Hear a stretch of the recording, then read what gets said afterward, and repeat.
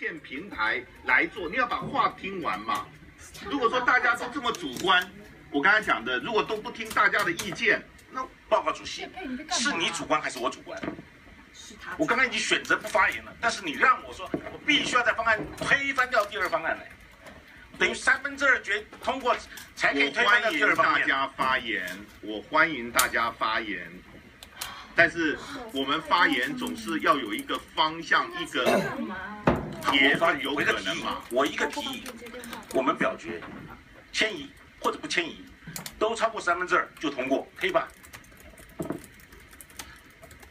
我我我我我可以，可不可以代替主席，请大家认为说这个案子合不合理？只要合宜的话，就当场表这个举手都可以的。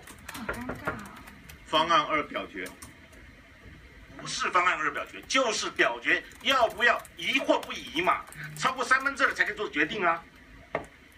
这是议事规则哎。不是议事规则，所以我跟各位报告，我们讨论一直有它的延续跟基础。上一次聚焦在三个方案，这就是你今天来又冒出第四个方案嘛？那第四个方案你要去做这样的一个表决，那待会下一次还有人翻案说我不承认，我要来第六个方案表决啊。这就是今天你要去主持会议，我们大家必须要有一个共同的方式来思考，对不对？就说今天不是没今天方案三。个，三个，你就要推这个第四个方案，这就是我刚才提的重点嘛。我们聚焦在方案二，因为现在大家如果接受它是现在不满意，但是是一个最佳的方案，那来做聚焦他这样的一个探讨，有什么错呢？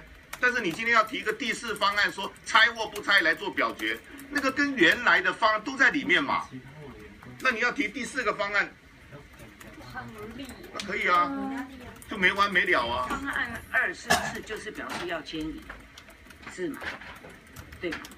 方案二就是迁移，那我们就来表决，没关系的。如果大家认为是可以接受迁移，那就迁移嘛。